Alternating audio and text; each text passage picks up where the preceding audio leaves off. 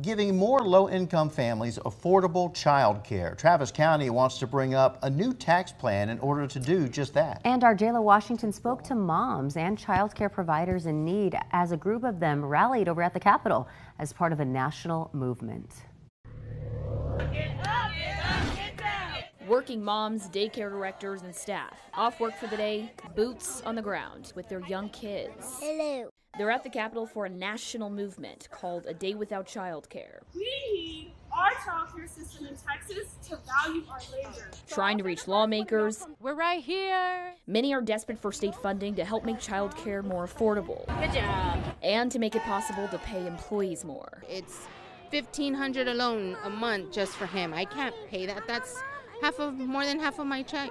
Dairy Queen workers make more than childcare workers. We haven't been able to raise our childcare rates, and we have parents that are leaving because of the cost of living in Austin as well. The care we provide. It's a familiar song people have sung for a long time, asking for help.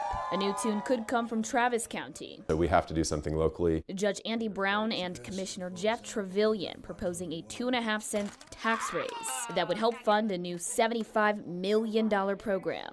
We're going to help 8, over 8,000 families get assistance in some way of either childcare or after school um, assistance. Kids who are in programs are not like kids who are in trouble.